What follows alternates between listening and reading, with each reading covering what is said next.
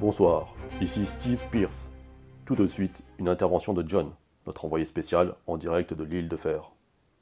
Oui, bonjour Steve, je suis sur l'île de Fer. Désolé si l'image et le son sont pourris, ça capte pas bien ici.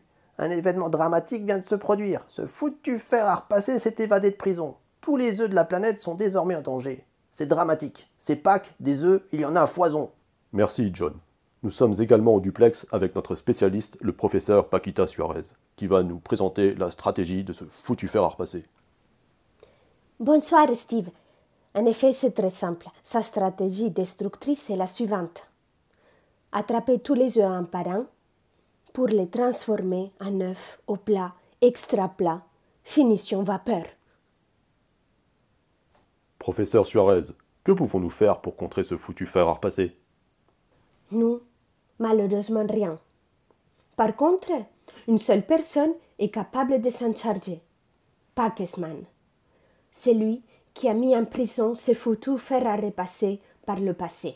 Mais où est ce Pac-Man Eh bien, Packesman vit tranquille sur son île de Paques. Il mange des carottes, il bronze au soleil et prend soin de ses œufs de Paques. Et ensuite, que pourra-t-il faire? Ah, c'est très simple.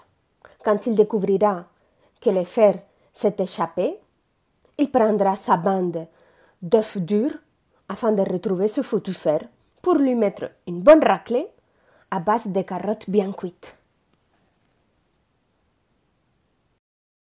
Merci Paquita, pourvu que ce plan fonctionne. En attendant, croisons les doigts et espérons pouvoir fêter Pâques. Mesdames et messieurs, bonne soirée.